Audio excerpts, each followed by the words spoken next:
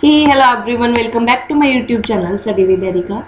So guys, today we will start part 5 of your chapter number 5 that is lines and angles. इसमें आज हम exercise 5.1 के next two questions, question number 6 and 7 इस video में cover up करेंगे so so, जल्दी से start करते हैं open your books with question number 6 and also make sure to subscribe the channel so देखो आपका क्वेश्चन है इन द गिवन फिगर आपको यहाँ पे एक फिगर दी गई है डायग्राम दी गई है angle one and angle two are supplement. So ये ऑलरेडी दे रखे हैं कि वन एंड टू सप्लीमेंट हैं which means angle one plus angle two is equal to one eighty degree because it is given that both are supplement now if angle one is decrease what change should take place in angle two that both the angle still remain supplement तो पूछ रहे हैं, कहते हैं, अगर हम angle two को decrease कर दे, कम कर दे सपोज़ करो हम यहाँ एग्जांपल ले लेते हैं कि जो हमारा एंगल वन है, वो 120 डिग्री का है, हम जस्ट एग्जांपल ले रहे हैं ओके अगर कहते हैं इसको हम डिक्रीज कर दे डिक्रीज मतलब कम कर दे, अगर मैं ये एंगल इस तरह से कर दूँ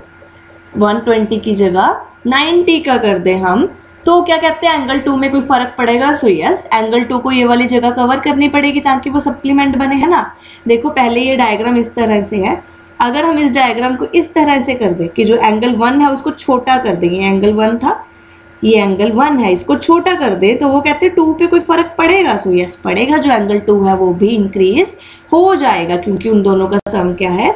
सप्लीमेंट सो हम यहाँ क्या लिखेंगे, कैसे लिखेंगे? We have to note down that if angle one decreased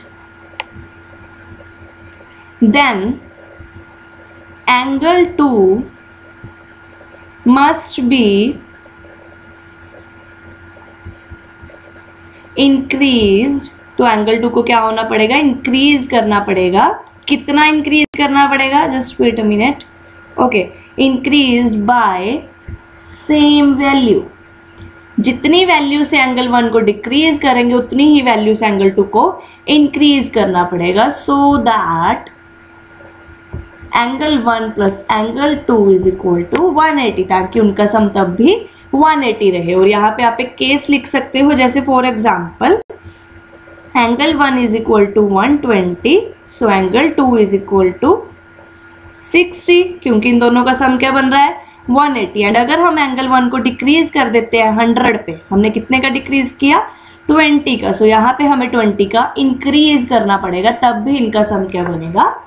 180 बनेगा. ठीक है? सो सेम वैल्यू से हमें उसको इंक्रीज करना पड़ेगा, जितनी वैल्यू से जो एंगल वन है, वो डिक्रीज होगा. ठीक है? So this was your question number six let's come to the next question our question number seven ध्यान से सुनना. Can two angles be supplement if both of them are acute वो कहते हैं, क्या अगर दोनों एंगल एक्यूट है? एक्यूट एंगल क्या होता है? Which is less than 90 degree मतलब 90 डिग्री से छोटे वाले। ये होता है हमारा 90 डिग्री का एंगल इससे छोटे वाले सारे क्या होते हैं? हमारे एक्यूट होते हैं। ठीक है?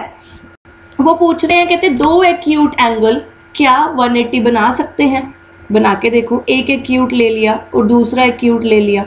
नो no, ये तो सप्लीमेंट नहीं बनाएँगे। क्यों? क्योंकि वो 90 से कम है। यहाँ हम एग्जांपल ले लेते हैं। देखो मैं क्यूट ज़्यादा से ज़्यादा क्या ले सकती हूँ? 89 डिग्री ले सकती हूँ क्योंकि 90 से कम है। सो so, 89 प्लस 89 क्या 180 बन सकता है? 9 9 ज़ा 18 16 and 178 so this is not supplement 90 हम ले नहीं सकते क्योंकि 90 एक्यूट एंगल होता ही नहीं है। एक्यूट एंगल होता है जो 90 से छोटा है। सो so, 90 से छोटे दो एंगल्स का सम कभी भी 180 नहीं बनेगा। सो so, यहाँ पे आंसर क्या आएगा? No next one is obtuse अब ऑब्ट्यूज क्या होते हैं जी? मोर देन 90 जो 90 से बड़े हों। मोर देन 90 डिग्री सो 90 से बड़े एक तो जैसे ये हो गया। ठीक है? और दूसरा एंगल मैंने ले लिया ये। क्या इन दोनों का सम कहते हैं? 180 बन सकता है? ये भी एग्जांपल लेके देख लेते हैं। हम यहाँ ले लेते हैं 110 प्लस 110 ये क्या बन गया? 220 ये तो 180 से ज़्यादा हो गया और सप्लीमेंट क्या होता है? वन 180 और कोई एग्जांपल लेते हैं, देखो 90 से बड़ा 91 एंड 91 ले लेते हैं हम। ये तो इससे छोटा तो ले नहीं सकते ना, क्योंकि 90 राइट बन जाएगा। दिस विल अगेन 182 ये भी 180 के इक्वल नहीं बनता।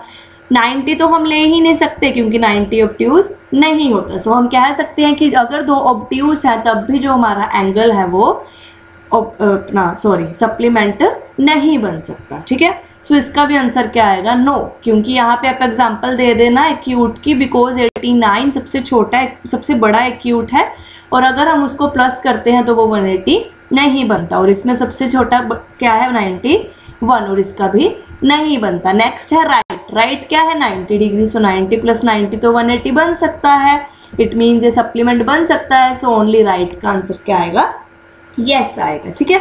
दोनों एक्यूट हैं, तब भी सप्लीमेंट नहीं होंगे, दोनों ऑप्ट्यूस हैं, तब भी वो सप्लीमेंट नहीं होंगे, और आप साथ में रीजन भी प्रोवाइड कर सकते हैं okay so this was your question number seven let's come to the next question okay this was for today's class इस दोनों क्वेश्चन में आपको कोई डाउट हुआ you can ask in the comment section कल हम करेंगे इसी एक्सरसाइज के next two question question number eight and nine till then take care and bye